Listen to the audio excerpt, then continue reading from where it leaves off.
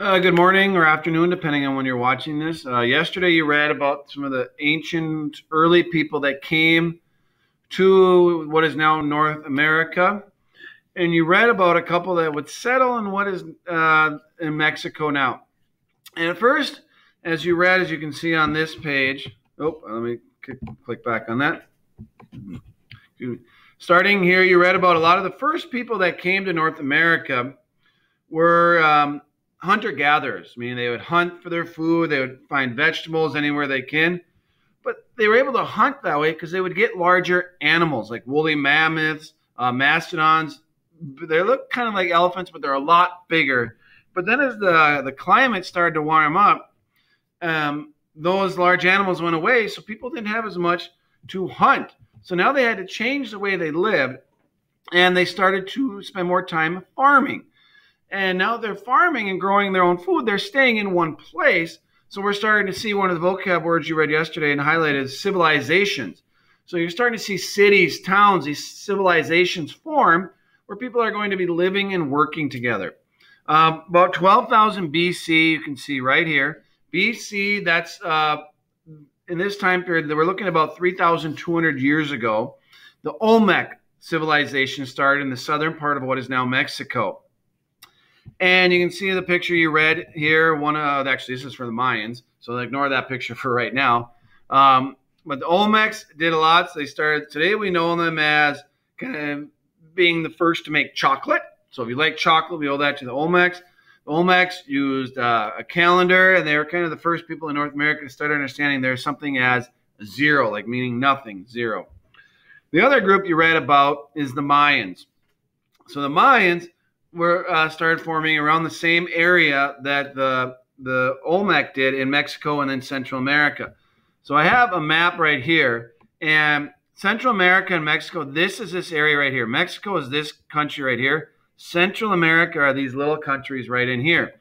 So that's where you're seeing the Olmecs and the Mayans starting to form. The Maya Maya became a very powerful uh, civilization. They used calendars. Uh, they understood the stars. They created a writing system called hieroglyphics or hieroglyphs. Sorry, hieroglyphics. That's uh, something else. The hieroglyphs, and they started to understand math a little bit more. Um, they did build pyramids. So here is an example in this picture right here that I mentioned earlier. This is a, a Mayan temple. So they and they built these temples. And Then they'd have their cities and towns um, around those temples. And over time, some of these large cities grew too big. Um, so people had to spread out more to try to find food. So people started moving away. And as that happened, the Mayan people, the Mayan Empire slowly lost its power. And but there are still Mayans today, just not really cities like we have now. In 2007, I was able to go on a mission trip to a country called Belize. Um, a mission trip is where you go to a different country, or you could even stay in your own country, where you go to help other people. So I was taking this mission trip to Belize, which is down here in this little country right here. It's this grayish color there. So I took a mission trip to Belize. Belize is considered a third world country, meaning there's not a lot of money there. Um, not a lot of money and and just some people have money, but their houses and place they live in aren't always the best. So I was going down on this mission trip to help people um, in with a church. I was going there to help a church, and we were going to help build them a place where they could have Sunday school. And so when I went there, uh, one thing you see in this truck, I have this picture of a truck. It's nothing special, but I always put it in there because there's these bottles of water back there. One thing about third world countries is they might not have the same systems that we have here. Like when we drink water here, water has gone through different systems and been cleaned out. Down in Belize, they don't always have that. So if we were to drink water from their faucets, we could get sick because it might have things in it uh, down from down there that aren't in our water up here in the United States. So we had to make sure anytime we were going to drink water, we had to drink bottled water like this. We could take showers and stuff like that with their water. We just didn't want to drink a lot of it. It could give us stomach problems like throwing up, diarrhea, that kind of stuff. So in these third world countries, it's very important. They can drink the water there because their bodies are used to it. Ours wouldn't be. Oh, that's my dog. So here in Belize, our first spot we stayed at was at a hotel here in a city called um, oh, I remember. I think it was called Independence. Now this is again more evidence that it they do things different than we do. This is the hotel we stayed at. This these bars sticking out are called rebar. They put that in concrete to make it a little bit stronger. Well, you can see they're sticking straight up. There's no hand railings there. In the United States, there's no way we'd be allowed to stay in a hotel like this. But they have different rules and laws down there. So this is where we stayed. Wrong way again. Um, at the hotel, oh, be smarter than the technology. All right. So here at the hotel we stayed at, it did have a little restaurant here. So you can see it's very common for their roofs, roofs up here, roofs to have a thatched uh, ceiling like that. So because you know they're in a tropical climate, it's going to be warm. They're not dealing with snow and that kind of stuff like we have here. So that was the stairs leading up to the restaurant. There you can see that this one does have railings. So at the church we are going to help. This is my father and myself and some other lady that was with us. This is outside the church. We were going there to help build their Sunday school and do some other things. So that's outside that church. This is inside the church. These are some other people. This was my pastor of my church at the time. And then this was the pastor of that church that we were helping. Not a lot of money, as I said, so they don't have a lot of money for air conditioning. So up here is their air conditioning, this built in fan. This is my dad and myself at the front of that uh, church that we were at. And I forgot to mention earlier, if you want to look at any of these pictures longer, just pause the video and you can look at them longer. So uh, this is a blurry picture, not the best picture. So I go through some of these. That is my dad and some of our other people we went with. As I said earlier, it's a tropical place, so jungle, very hot, very humid. That's why I look so grumpy. I'm not somebody that likes to deal with the heat. So that's a very hot and humid place for me. And more of the different fans they had on top of the the ceiling there. And this is what the inside of my hotel room looked like. So nothing fancy. I mean, very similar to some of the stuff you'd see here. You know, comfy beds, a TV. Was able to watch some. They have some cable TV down there. This is inside that uh, restaurant, and uh, it's a bar restaurant type place. They had Coke. I always drank orange Fanta. That was my favorite drink they had back then. But down here is this payphone when I was down there, a hurricane was coming through, and hurricanes have a name. This one was Hurricane Dean, and it was coming close. So we knew a hurricane was heading for us. So I, I wanted to call my mom to let her know, hey, this is what's going on, because my mom wasn't with. It it was just my dad and I. And I said, here, this is what's going on. I talked to her for about five minutes or so. That five minute call from Belize back to Minnesota cost me $90 for a five minute phone call. But it was worth it to let my mom know what was going on. I'm going back. You can see the, the thatched roof up here again. That's from the inside of what it looked like. And here's just the outside of where my hotel room was. It was this first door here. You can see some more of that rebar sticking out. These are just kind of what some of the land looks like. Uh, here is the mountains in the distance. I just thought this was a cool picture of what Belize looks like.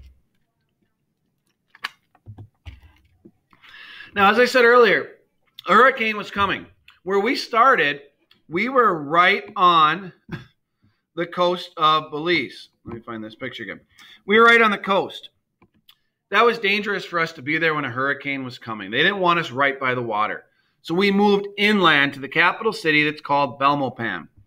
So we moved. So we had to, we were going to spend the whole week at that church, but when the hurricane was coming towards us, they said we have to move. So we moved to a place that was a little bit uh, farther inland, so a little bit farther away from the Caribbean Sea down there. And we, this is where we stayed at the hotel. So this was the second spot, excuse me, the second spot that we stayed. Um, so this is where we were when the hurricane came through. It came through at night. To me, it was just like a bad thunderstorm. I woke up once, looked outside the window, ah, raining, thunder, lightning. I went to bed. Nothing that big a deal because we were in the southern part. A hurricane is like, think of a circle the southern part of that circle of the hurricane as it's spinning isn't the worst. The northern part is where the hurricane is usually the roughest. And this place did have a pool. but we never swam in that pool. It just. Mm. And this is my dad and another friend of us that went with. His name was Matt. This is just a river that was flowing by our hotel. So you can see how hot and humid it was there, and you can see the palm trees. So definitely a tropical climate. So there I am, a little. I'm actually smiling, which is weird, but yeah. And all the the men that went on this trip, there was only like four of us. We all had matching hats. So here we are. We decided we're gonna, since we didn't couldn't go back to the first church we wanted to help because of the hurricane, we decided we were going to go to a different church to help. Um, so this is me. This is uh, this is Joshua here. So while some people are helping with the church, I uh, knowing I was going into teach. This was actually my first, after my first year at Willow. I went on this mission trip. So I was helping the kids, playing with the kids, and uh, this is Joshua here, and you're just having some fun. And one other thing we did when the hurricane came through is we decided after we were going to help this gentleman. Uh, I don't know if you can see him in the picture. We were helping him build his house. This is where he was going to live. So we were helping just basically taking these sticks going across here and having other sticks going on top, and we just tie them together to make his walls. So again, they're not worried about winter, so they're not worried about keeping warm. It's just a matter of trying to keep the, the rain and stuff out. So this to him was a very nice uh, house. So we were able to put the roof on and everything, and so we were able to help a gentleman make this. So very some very poor living conditions.